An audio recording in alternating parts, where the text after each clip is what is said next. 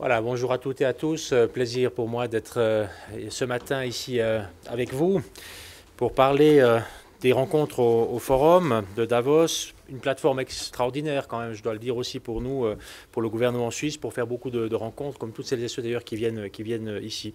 J'aimerais surtout saisir cette occasion maintenant de vous parler de la rencontre que je viens d'avoir avec le président des États-Unis d'Amérique, Donald Trump une très bonne discussion, très bon échange euh, entre, euh, entre nous. Euh, dans, un climat, dans un climat très positif.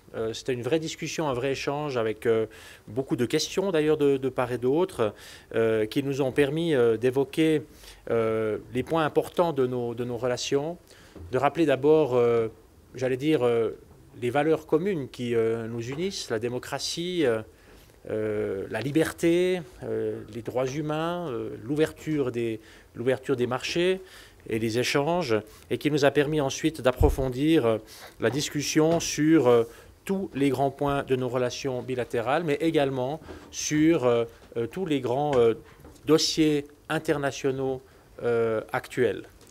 Et donc nous avons dans ce sens évoqué la question bilatérale entre nos deux pays, les liens économiques très forts que nous avons, sur le plan euh, des investissements, sur le plan euh, du développement de, l'emploi, euh, également avec une partie importante consacrée à notre système d'éducation, de, formation duale, vocational education, qui, qui, je crois, a beaucoup intéressé le président Trump. Nous avons eu un échange à, à ce sujet. Ça nous a permis également d'aborder les grands défis qui concernent notre économie, avec notamment l'évolution que nous faisons vers la digitalisation, et vers le développement euh, d'énergie, euh, propre euh, pour répondre notamment à l'évolution digitale et aussi au changement climatique qui, j'ai pu le dire au, président Trump, affecte particulièrement notre pays avec les montagnes et la géographie et la topographie que, que, nous, que nous avons.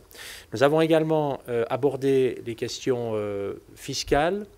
avec, je crois, un dialogue très ouvert et, des, euh, et des, informations qui ont été échangées de manière très précise. Je crois avec, euh, euh, dans le fond, oui, le message principal qui était de dire, nous souhaitons maintenant tourner la page, nous souhaitons pouvoir régler définitivement cette question, et ça n'est pas seulement important pour la Suisse et pour nos entreprises sur place, c'est aussi important bien sûr pour les États-Unis, c'était mon message, dans la mesure où ces institutions bancaires contribuent précisément à financer le développement des activités économiques aussi aux États-Unis. Euh, il ne faut pas oublier que nous avons 500 entreprises aux États-Unis qui sont actives, 3500 euh, business locations aux États-Unis, un demi-million de jobs directs, 1 800 000 jobs euh, indirects, et nous sommes aux États-Unis le sixième investisseur étranger, le sixième investisseur étranger devant la France, par exemple. La Suisse est plus importante que la France comme investisseur étranger aux États-Unis, devant l'Allemagne, la Suisse est plus importante que l'Allemagne comme investisseur direct aux États-Unis si on prend les chiffres de 2017, donc les derniers que nous avons à disposition. Devant la Chine, la Suisse est plus importante en termes d'investissement direct aux États-Unis que la Chine. Et c'est ça qui explique aussi, je crois, l'intérêt commun qu'il y a de manière très très étroite avec euh, un intérêt des deux, des deux côtés très fort à pouvoir, euh, à pouvoir échanger. Euh, wir haben auch, auch einige Wörter auf Deutsch sagen, wir haben auch äh, die, äh, alle die großen Dossiers, internationalen Dossiers auch, äh, auch erwähnt. Äh, haben wir auch über die Situation in Iran gesprochen. Es war ein Thema in, der, in dem Austausch mit dem Präsident, Präsident Trump. Die Schweiz hat spielt auch eine Rolle seit einer langen Zeit mit einem Schutzmandat in, in, Iran und wir folgen auch sehr eng die Situation im, im, Iran. Aber ich habe auch erinnert, dass die Schweiz auch eine Rolle spielen kann, wenn es geht, um den Dialog zu unterstützen, äh, Treffen zu organisieren. Ich habe auch erwähnt, weil es ist, glaube ich, ein guter Beispiel, die Wichtigkeit der äh, internationalen Platz in Genf mit einem Beispiel, äh, aber auch erinnert, dass es war dort in Genf, dass das Treffen zwischen äh, Präsident Reagan und äh, Mikhail Gorbatschow hat erlaubt, damals auch wichtige Fortschritte zu, äh, zu, zu machen. Und das zeigt, wie wichtig auch diese internationale Genf ist, nicht nur für die Schweiz, aber vor allem auch, um den Dialog zu unterstützen. Haben wir auch die Situation in Nordkorea äh, erwähnt, ausdiskutiert. Äh, ich glaube, es war auch klar für mich, dass der Präsident Trump hatte auch Interesse zu, zu hören von uns, wie wir diese Situation sehen, was wir als Beziehungen haben. Ich habe auch erinnern können in diesem Zusammenhang, dass wir sind äh, präsent seit 65 Jahren in, äh, zwischen Nordkorea und Südkorea, äh, mal zu, äh, mal zu die Situation zu, zu zu, äh, zu, zu helfen und zu, zu, zu begleiten. Und äh, ich glaube, es gibt auch da beide Seiten, es gab auch beide Seiten eine, eine, ein großes Commitment, dass es wichtig ist und dass es ist wichtig, dass wir auch weiter da arbeiten. Und es war auch ein Commitment, um zu sagen, es ist extrem wichtig, dass die Sanktionen, die müssen umgesetzt werden auf alle Ebenen. Und die Schweiz macht das auch andere Länder auch. Es ist extrem wichtig, dass diese Situation mit den Sanktionen keine Diskussion darüber, darüber steht. Äh, es muss wirklich umgesetzt werden und das haben wir auch klar bestätigt mit der, Diskussion mit den Vereinigten Staaten. Haben wir auch China erwähnt. Es hat mir auch erlaubt, äh, China-Situation mit China generell. Äh, ich glaube, das ist auch ein Punkt der Diskussion, weil wir waren das erste Land auf dem europäischen Kontinent, der ein Freihandelsabkommen mit China gemacht hat. Und die Frage war, was bedeutet das konkret? Was hat es für, für, für Auswirkungen? Und das waren wirklich die Punkte, die wir auch äh, diskutieren, äh, diskutieren äh, konnten. Ähm, voilà, vielleicht, was ich sagen, äh, sagen wollte hier.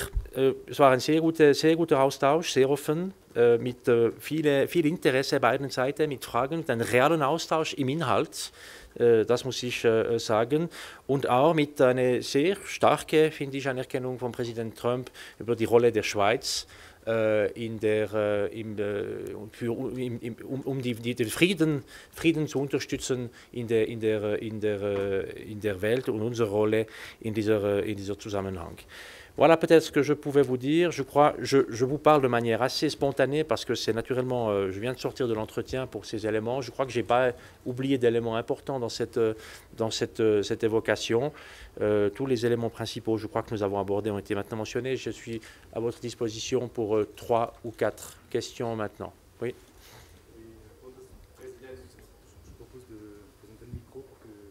Allez-y. Bundespräsident Beers, eben Tobias Bossart, Tagesschau. Ähm, Donald Trump gilt ja eher als direkt und nicht immer politisch korrekt. Wie haben Sie in dieser, ihn in dieser Hinsicht erlebt? Es war sehr direkt und sehr korrekt. Ein guter Austausch, wirklich. Ich meine, sehr produktiv, sehr produktiv haben wir. Es war, äh, ich habe nicht mal äh, angeschaut, aber es war äh, klar mehr als eine halbe Stunde, etwa gegen 40 Minuten, dreiviertel Stunde das, das Treffen und hat uns wirklich erlaubt, wirklich in die Tiefe zu gehen, gewisse Punkte, wirklich, es gab wirklich Interesse auf beide Seiten. Das war sehr direkt, ja, in der Tat, aber so muss es auch sein. Äh, wir sind nicht einfach auf Öffentlichkeitsbesuch, äh, Öffentlichkeitsebene geblieben und wir wirklich konkret die Probleme angesprochen, nicht nur bilateral, auch die große Diskussion, die auf der Welt stehen im Moment. Aber war so diese Art, seine Art, auch mit Twitter etc., war das ein Thema? Hat er das angesprochen oder ist das für ihn einfach Show? Aber nein, es war kein Thema. Thema war wirklich ein Treffen und eine Beziehung zwischen dem schweizerischen Bundespräsident und dem President of the United States. Also das, war, das, war, das war das Thema. Völlig ja, professionell. Ja, ist klar, aber, aber sehr konkret. Konkret äh, mit auch äh, eine, eine, eine ich, ich, glaube, ich darf das sagen, eine, eine sehr positive Würdigung von Präsident Trump über die Schweiz. Wie gesagt, wir haben eine äh, lange Geschichte gemeinsam. Ähm, ich habe auch äh, Freiheit äh, erwähnt, äh, Demokratie erwähnt, habe auch Human Rights erwähnt. Es sind wirklich wichtige Punkte und wir haben auch ja, diese, diese Punkte alle einfach sehr, ja, sehr klar andiskutiert. Ja.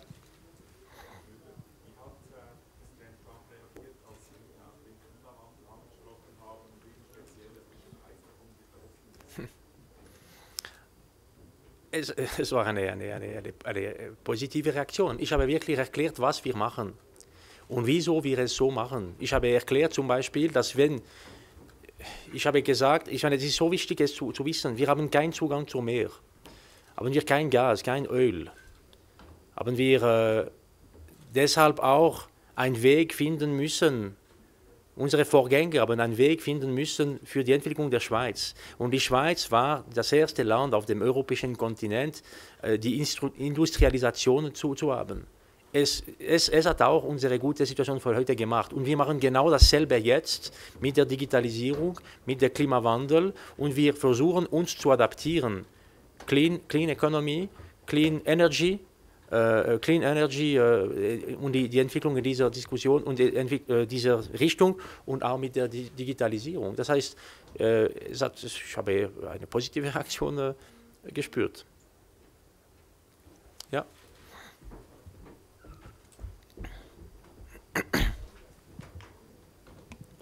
Keith Bredge, or New York Times, your Twitter account today has a big photos showing diversity is power in graffiti. Is that in any way a reference to Mr. Trump's immigration policies or his recent comments about uh, Africa or Haiti? Thank you. You know, it is my Twitter account and uh, they are my references. And uh, as you know, in Switzerland, we are four languages, huge diversity in the regions, cantons and diversity in Switzerland. It is, is the center of our uh, uh, political DNA, I must say. And uh, these photos, uh, I, I, organized these photos for my Twitter account on the 1st of January.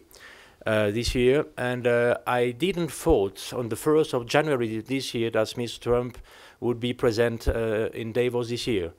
And I guess you don't also need.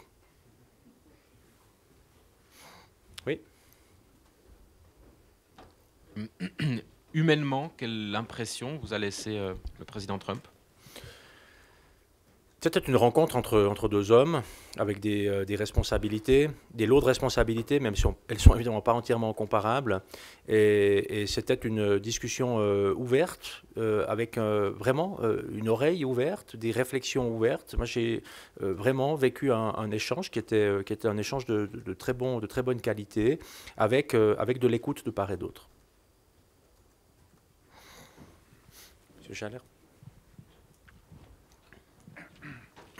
Oui, alors vous nous, parliez de l'importance de la relation personnelle avec euh, le, président Trump. Alors est-ce que quelque chose est passé euh, justement dans, cette relation personnelle? Et est-ce que vous l'inviterez peut-être euh, en Suisse au cours de votre présidence?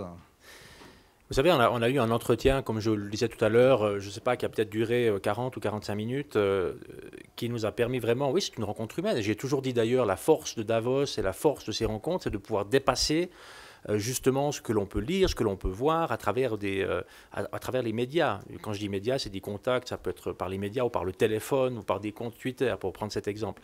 Donc la rencontre personnelle est très importante.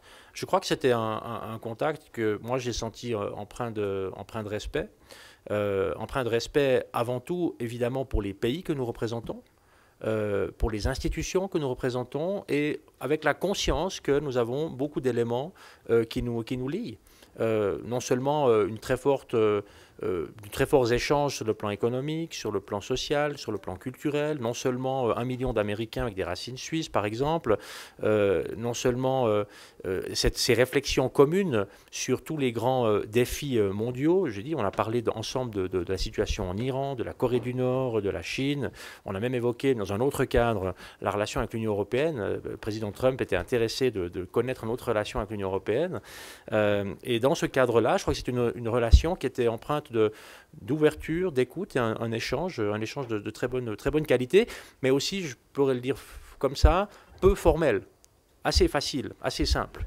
Euh, c'était un peu, c'était pas un ping-pong, mais on a pu vraiment échanger de manière, de manière, de manière ouverte et assez simple, et ça permet d'être très efficace parce qu'on est tout de suite au cœur des dossiers et des réflexions, et on peut passer les, on peut passer les, messages euh, et échanger.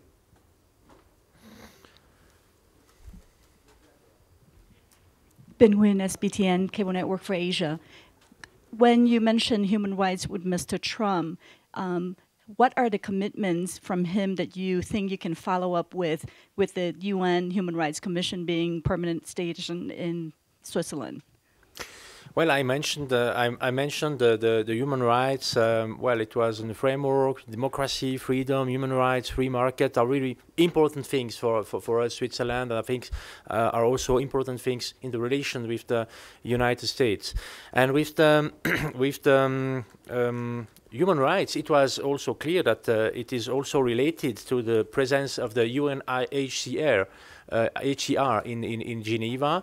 We didn't deepen this, this discussion further, but uh, well, I think, I think it's a very important thing, and we uh, see in the world how it is today, it's really important to, to have also uh, organizations like the UNHCR working in the field. And uh, I think it was also that because of that that I wanted to uh, to uh, to mention this this point.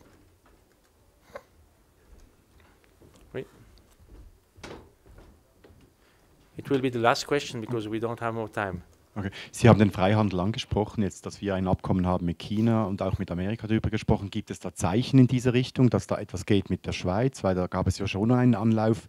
Und noch eine zweite Frage. Sie haben von Respekt gesprochen, der geherrscht hat zwischen Ihnen. Dieser Respekt äh, sehen wir, wenn wir das so verfolgen von draußen, nicht immer bei Herrn Trump. Also da ist ein ganz anderes Bild. Ist das auch bei Ihnen so?